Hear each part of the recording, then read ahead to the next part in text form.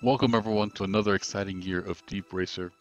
This year, 2024 Student League looks to be really interesting and fascinating as they've changed the the way they've set up the the console itself. I'm going to go through those details in a second here.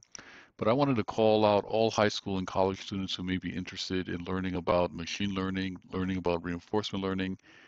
You, this competition is open for you. So if, as long as you're over 16 years old, you can use the the free resources here at AWS to do to uh, train a model 10 hours a month and try to win the, the prize of getting a scholarship. So check it out, really good. I have the website here in front of me right here. Um, the 2024 season is warming up. There's a preseason race going on. I'm going to talk about that today. And I'm going to explain how to sign up. So signing up is pretty straightforward. You go to student.deepracer.com and, and I'm going to type in my password here. Uh, oh, I need an uppercase letter. Okay. Uh, sign up. Oh, I gotta verify my code. Give me a second while I do that. All right.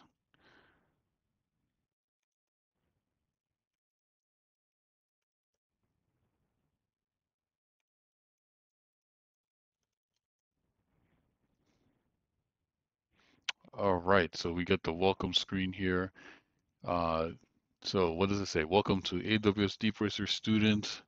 We can learn, we can compete some prizes. Let's do it. Compete for prizes. Let's let's jump right into it. All right, so I'm going to complete the sign up. So I'm going to type in, okay, just asking for some information here. Uh, my name is Boltron, last name Wolf, the school, where did I go to school? Uh, good question. I'm just going to pick anything here just for the example, right? Uh, maybe computer science would make sense here. And uh, I already graduated, but just again, only for the purposes of the demo here, I'm going to say I'm graduating in 2024. Please don't lie on this. Type in your actual information. If you put in the wrong info, you may not get the prize if you actually win it, right? So, all right, so we got in here. And this is what the race looks like right now. There's 20 days remaining as of today. Today is February 10th, the day of that I'm recording this. And let me just walk you through what you look, what you would see, right? We have a couple of open races. The the preseason practice session is going on. Great time to learn how to build a model. Uh, if if you scroll down, we see that there's a U.S. country uh, ranking as well as a North American or or regional ranking, and depending on where you are around the world, you see obviously different things here, depending on how you signed up. So if I look at the leaderboard, uh, I like going to the race board, the race leaderboard. It takes a few moments to load up. Let's give it a second here. Uh, you can already see that there's 440 participants in the US, 4,000 around the world. So competition is definitely heating up. It looks like the fastest so far, uh, actually the world leader right now is One Trick Pony. But look at that, tiny difference. All right, this is taking a long time to load up. Let's give it a second. So as you can see, it's really easy to sign up. It takes a couple of moments. Uh, you put in your school information and that's it. So how do you train a model? Well, you go over here to the left nav bar, go to practice, go to your models, and you create a model. Notice you cannot uh, import a model that you created on your local computer. You have to do it within the console. All right, so uh, let's just come through. You give it a name. First model, oh, maybe not. No spaces allowed.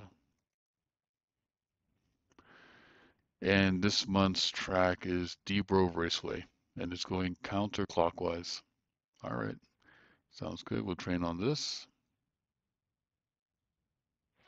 Uh, there's two options, PPO or Soft Actor Critic.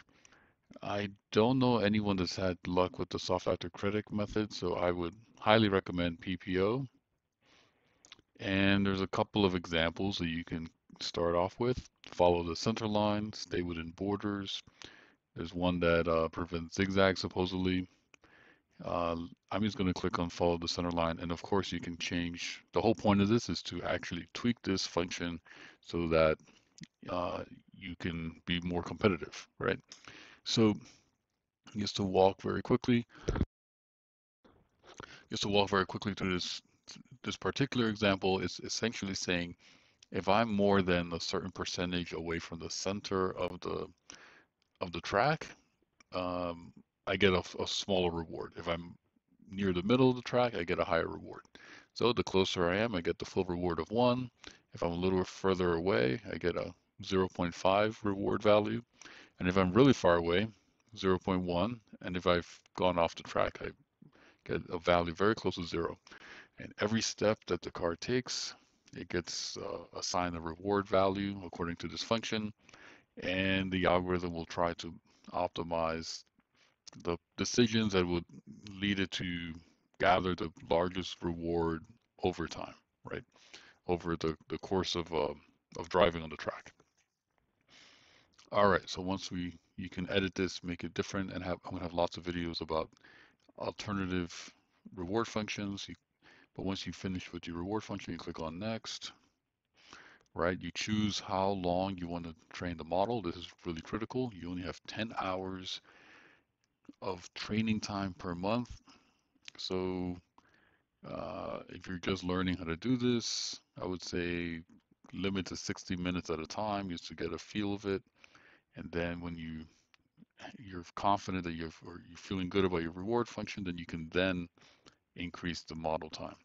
I myself have trained for 10 hours, just do it in one shot. But again, I really I already knew how the model was going to perform, right? So just be cautious about that. You don't want to blow your budget too fast. You put uh, 60, you can add a description here if you want. Um, what is this? Okay, and this is the the country. You definitely want to put your own country. Uh, let's see, I'm putting United States, that's where I'm at. And then you would be, uh, I guess, your regional, this would affect, you know, where you are in uh, your region, right? So there might be some regional awards as well. Like, so if you, uh, you have to check this box off if you want to um, include it in the, on the leaderboard itself. All right, so you just click train your model and you're all set. So that's basically it. Uh, hope that was helpful. Do not be afraid. This is free, right? It's all free. So jump right into it, try it out. You're not losing anything. You're going to learn. So uh, just try it out. And then again, next month it's going to reset. Next month you get a full 10 hours again. So this is the time to play around. It's preseason time. Now it's the time to just get familiar with the tool and see what you can do. All right, good luck out there. And as always, uh, check out the channel, uh, subscribe for new videos. I'm going to be making a big push on Student League this year. I really want to help you guys out. Uh, all I ask in return is that you subscribe. It's totally free. It doesn't doesn't cost you anything. Uh, like the video. Please help uh, feed the algorithm. There you have it, folks. Team Boltron. Stay tuned for more. Make sure to subscribe and click that like button if you want to see more of this content.